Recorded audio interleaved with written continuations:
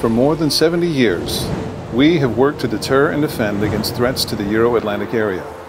On land, at sea, in the air, in space, and in cyberspace. We are Headquarters Allied Joint Force Command Brunssum, JFC Brunssum for short. We're one of the three operational Joint Force Commands in the military command structure of NATO, the North Atlantic Treaty Organization. We plan and execute military operations to preserve freedom, peace, security, and the national sovereignty of NATO members and partners. Our history dates back to the aftermath of the Second World War. In 1949, the North Atlantic Alliance was created to secure peace in Europe, countering the threat posed by the Soviet Union. Four years later, our headquarters was established, originally in France, to direct Allied military activity in Central Europe. In 1967, the headquarters was moved to the Dutch city of Brunssum in the heart of Northwest Europe. With the fall of the Berlin Wall in 1989 and the subsequent collapse of the Soviet Union, the political and security situation in Europe fundamentally changed, and NATO's role shifted away from Cold War deterrence to crisis response operations. In 2014, Russia invaded Ukraine, a NATO partner nation, illegally occupying territory in Crimea and Donbass the alliance recognized the resurgence of Russia's ambitions and developed a new military strategy.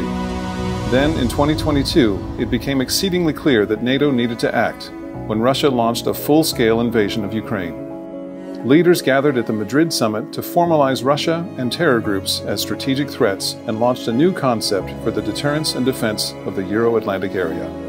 Under the new concept, the area commanded by our operational headquarters was expanded in order to be ready to execute plans to defend Central and Northern Europe.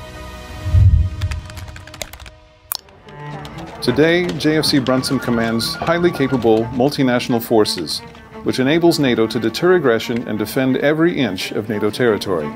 The personnel, civilian and military, who serve in the headquarters are drawn from nearly all of NATO's member states and several partner nations. We command NATO's high readiness troops known as the NATO Response Force, on an annually rotating basis with our sister JFC in Naples. The NRF is a high readiness, technologically advanced force of up to 40,000 personnel, comprising land, air, maritime, and special forces units capable of deploying rapidly from their home nations wherever and whenever they are needed. Helping to facilitate the rapid deployment of Allied troops are the NATO Force Integration Units. Also under our command sits NATO Multinational Corps Northeast in Poland, which oversees three divisions and four battle groups. Additionally, we command a divisional center in Hungary, which oversees two more battle groups. Our six battle groups are multinational forces, strategically placed in countries bordering Russia and Ukraine.